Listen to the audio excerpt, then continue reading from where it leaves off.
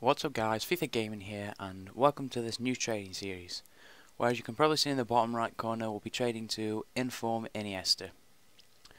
So we're going to go ahead and open, uh, sorry, put in our team name for, this, for, for the purposes of this series we're just going to call it Inform Iniesta. Uh, we'll pop in the abbreviation and open the starter pack.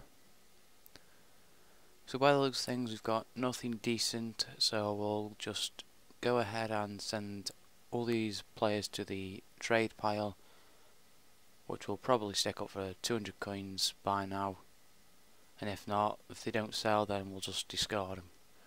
So we'll go and claim our bronze pack and we do actually get a bronze rare right back from the MLS with 60, uh, 84 pace sorry so we'll show him in the club and we'll go see how much he's uh, how much he's actually worth.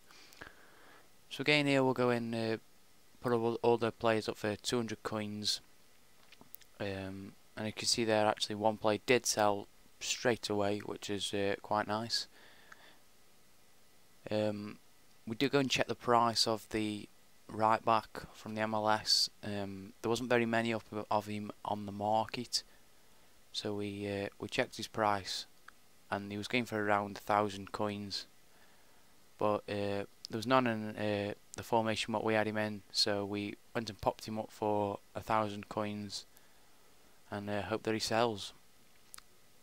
So guys uh, we do go and pick up the uh, Barcelona badge just because it's the team what Iniesta plays for.